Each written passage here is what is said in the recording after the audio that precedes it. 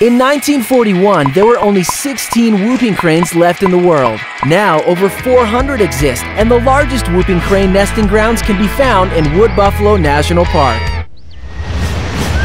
Experience the thrills and exhilaration of Sustainival, the world's first carnival fueled by renewable energy. It's the gnarliest mashup of mad awesome rides and eco-focused educational pavilions that will leave the whole family pumped. Purchase your day passes online now.